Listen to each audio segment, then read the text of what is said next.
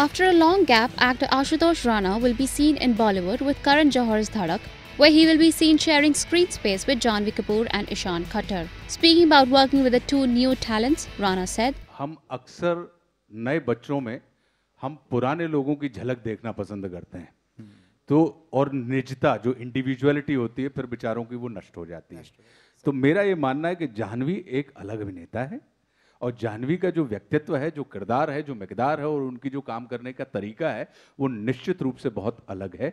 उसमें अगर आपको ये आनंद का विषय होगा कि जाह्नवी में आपको श्रीदेवी जी नज़र ना आए।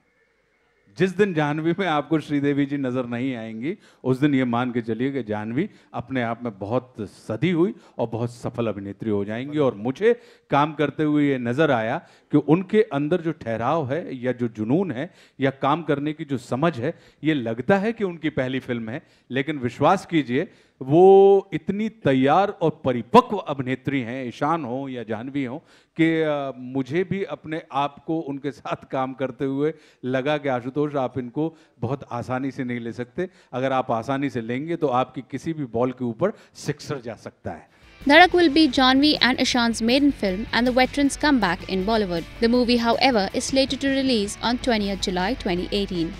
RANS report. Subscribe to our channel. Just click on the bell icon for all the latest updates.